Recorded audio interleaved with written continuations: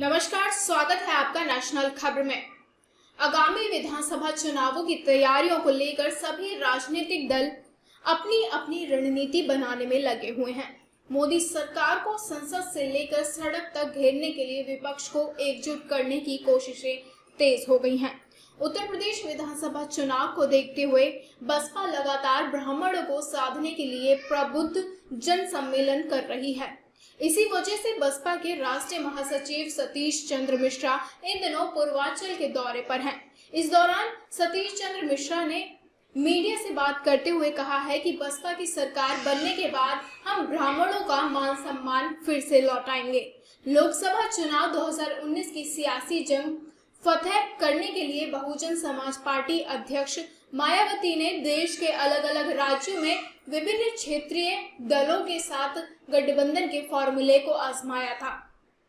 लेकिन उनकी ये कोशिश पूरी तरह से फेल हो गई थी। उत्तर प्रदेश से बाहर किसी और राज्य में बसपा कुछ खास असर नहीं दिखा सकी है। दरअसल पिछले साढ़े चार साल में कई कद्दावर नेता या तो पार्टी छोड़ चुके हैं या फिर मायावती ने उन्हें बाहर का रास्ता दिखा दिया है। ऐसे में जब विधानसभा चुनाव में कुछ ही महीनों का वक्त बचा है तो संगठन को फिर से मज़बूत करना पार्टी के लिए सबसे बड़ी चुनौती है।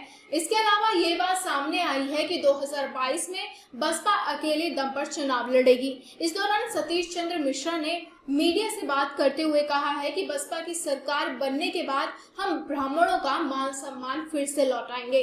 उन्होंने कहा है कि बसपा में किसी भी छोटे दल का विलय नहीं होगा और न किसी के साथ गठबंधन किया जाएगा। यही नहीं, बसपा के प्रबुद्ध जन सम्मेलन के बाद से यूपी की सियासत तेज हो गई है। बसपा ने 2007 विधानसभा चुनाव के पुराने फॉर्मूले पर लौटते हुए 23 जुलाई से अयोध्या से ब्राह्मणों को साधने के लिए प्रबुद्ध जन सम्मेलन की शुरुआत की थी और इसका सिलसिला अभी जारी है।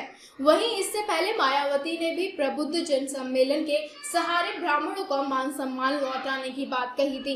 इसके अलावा उन्हें कहा था कि सपा और भाजपा ने ब्राह्मणों को ठगा है, लेकिन अब वो बहकावे में नहीं आएँगे। लिहाजा मायावती ने संगठन को मज़बूत करने की कमान खुद संभाली है। तो आप सभी हमारे साथ ऐसे ही जुड़े रहिए और भी जानकारी को जानने के लिए धन्यवाद।